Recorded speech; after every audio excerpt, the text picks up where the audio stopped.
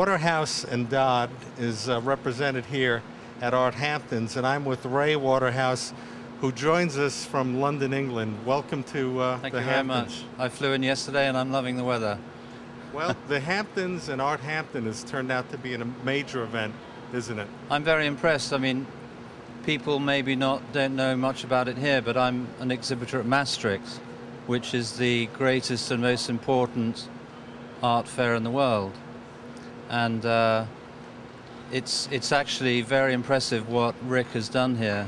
It's it's a major fair, and I think it'll be uh, an important part of the art scene in the northeast coast, and I think people will fly in from the west coast too.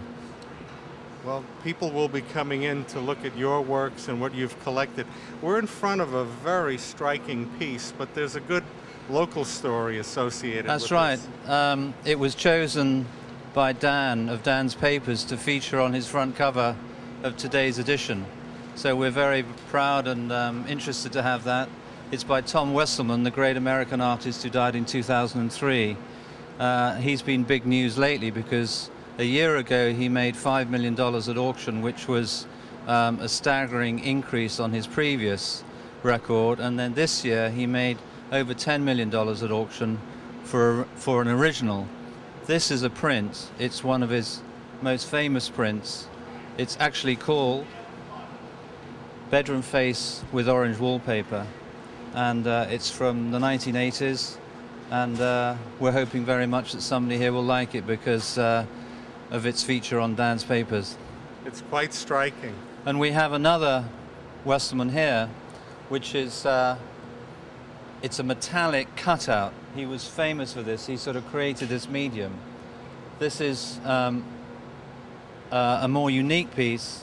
This is 75,000, and uh, I really love this, and I hope people will too. The technique is something that I haven't seen before. What is this called? Well, it's the the technique is it's metal. It's it's a cutout metal.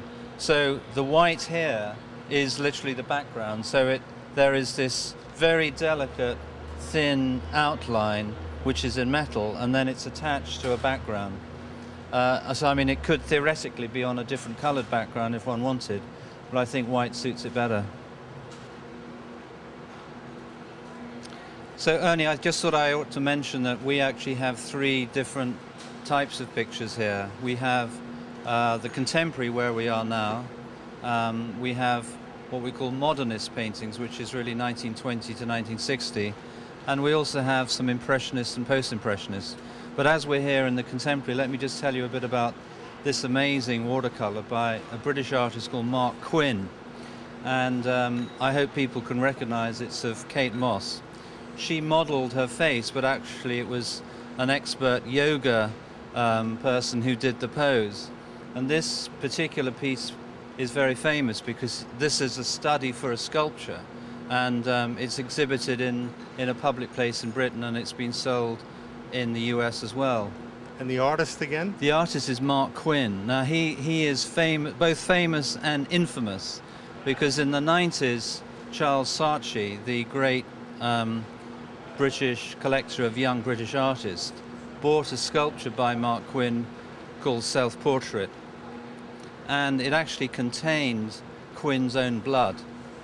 And it became national news when a house that Saatchi was renovating, the builders turned off the fridge, and so allegedly the blood seeped out because it had to be kept at, kept at a certain temperature. And if we sweep to the left a little, we're showing um, a young English artist, Sarah Jeffries. We have a show in our gallery in London at the moment by her. Um, we've got four pieces here. These are very inexpensive. She's a rising star in our view. These are from $5,000 to uh, $10,000 original oils. And these would also be called contemporary. Correct. I mean, she's 25, 26 years old, so she's um, absolutely contemporary. Marc Quinn was born in uh, 1963. The And then- images are so vivid. I know. She actually works from, um, she takes some of her inspiration from magazines and does collages and then works them up into paintings in a different form. And then the one on the left here, um, sorry, just to your left again, these paintings by Jeremy Duncan. These are of uh, New York scenes. He's also a British artist. He's about 40 years old.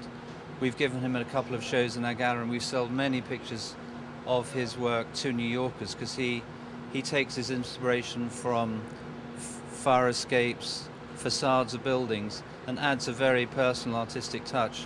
What you see in the paintings is not what he saw, he's interpreted and added, but I think they work tremendously well. As a lifelong New Yorker, I've been surrounded by fire escapes and I've never seen them in this context. Well, I think he's added some colour here and there, and uh, it's an interpretation. But some he did a. The first picture we ever saw by him was of the courts of justice in New York. He came into the gallery, you know, a very meek gentleman, and said, you know, will you give me fifteen hundred dollars for this? And we actually gave him five thousand because we thought it was so good. And through that, we started a relationship, when we uh, act for him exclusively. And his name again? Jeremy Duncan.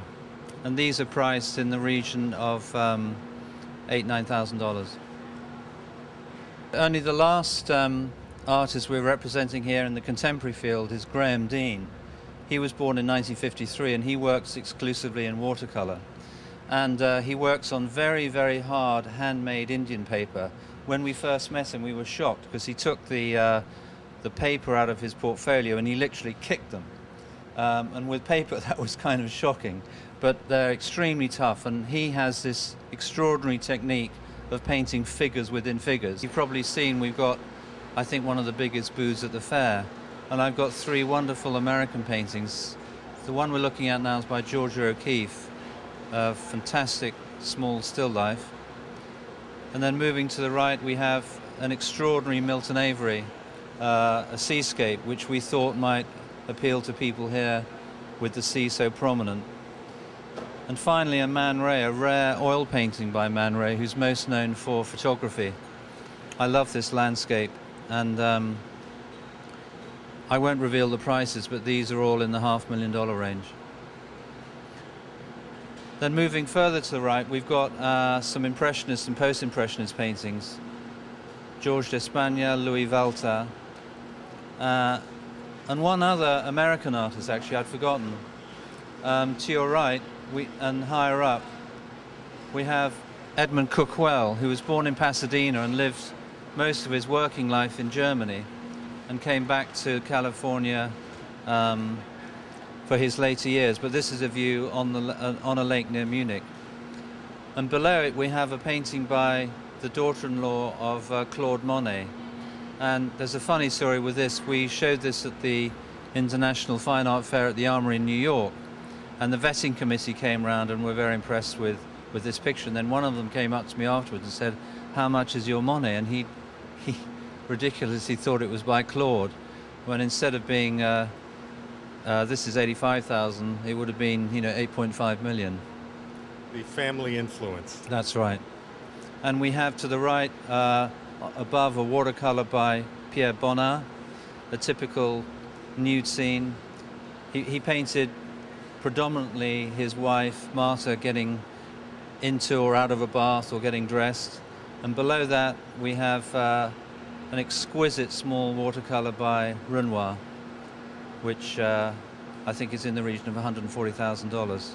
Beautiful condition, exhibited in many museums and well documented.